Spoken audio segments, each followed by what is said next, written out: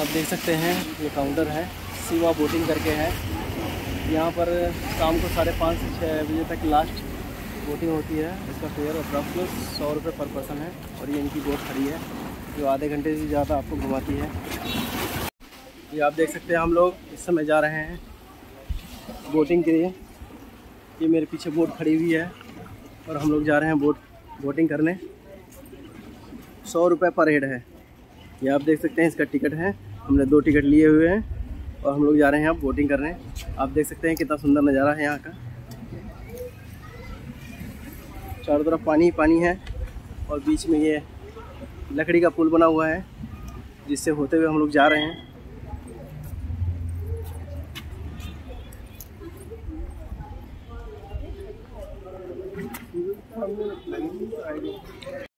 देख सकते हैं हम लोग हैं। ये मेरे पीछे हैं।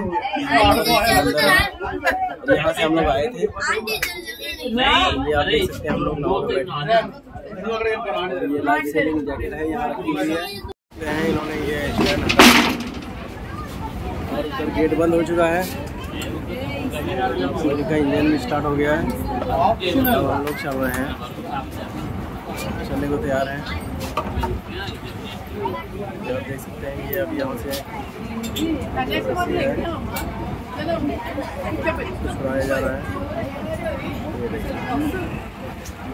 हमारी नाव चलने को रेडी है।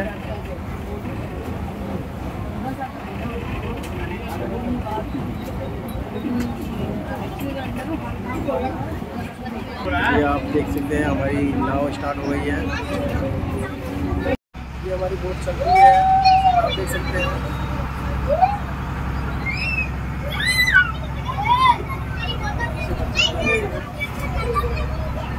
я не знаю, что сторона.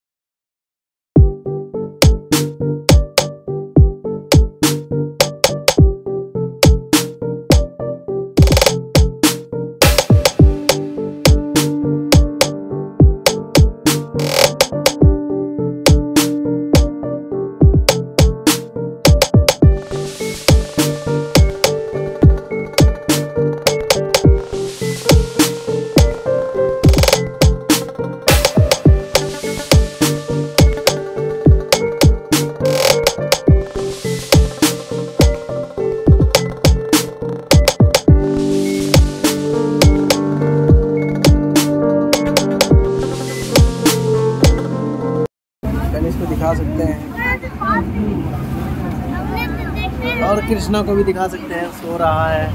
मज़ा लेना चाहिए इसको। आप देख सकते हैं। रामेश्वरम मंदिर के चार गेट है। ये पहला गेट है। दूसरा है, तीसरा, चौथा। चार गेट आपको दिख रहे हैं। चारों गेट में आपको दिखा रहा हूँ। रामेश्वरम मंदिर के चारों गेट में आपको दिखा रहा हूँ। आप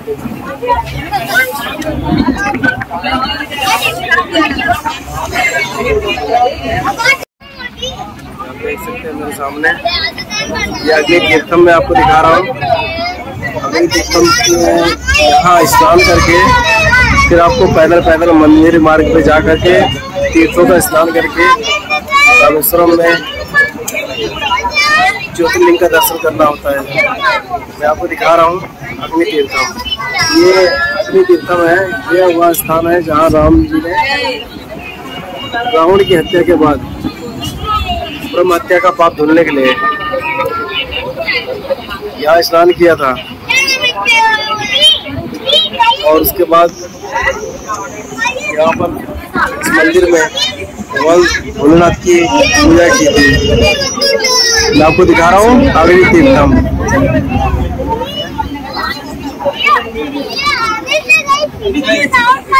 देख सकते हैं, हमारी नाव घूम के वापस फिर उसी जगह पे आ गई है। आप ये देखिए उन्होंने यहाँ पर फंसाने का रास्ता दिया है।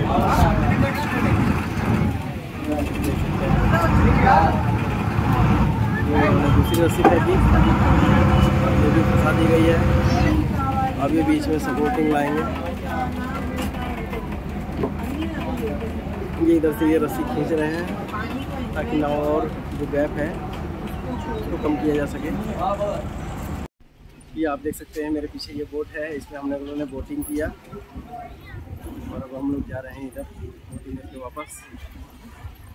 आप देख सकते हैं, मेरे चारों तरफ़ समुंदर समुंदर है। आप देख सकते हैं, चारों तरफ़ समुंदर समुंदर है।